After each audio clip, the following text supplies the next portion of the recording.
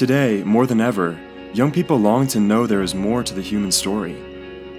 In any given community, we don't have to look far to find young people suffering the effects of a deep underlying problem. They don't know who they are and what they're made for. The need is urgent.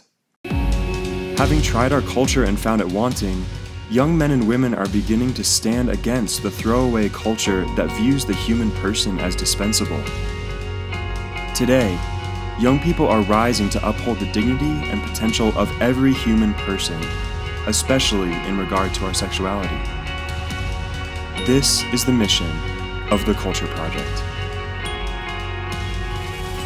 The Culture Project envisions a world where the dignity of the human person is at the forefront of every relationship, law, and societal structure. We dream of a place where passion for fidelity glues husbands to wives, fathers to mothers, and parents to children. We dream of a culture that fosters total human flourishing in the context of strong relationships and strong families.